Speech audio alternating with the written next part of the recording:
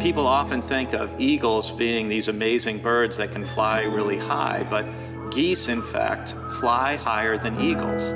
And if you study how geese fly, they take turns being the point because whichever bird is first, they're, they're breaking the wind, they're expending the most energy, they're working the hardest, and the other geese in the formation are honking encouragement.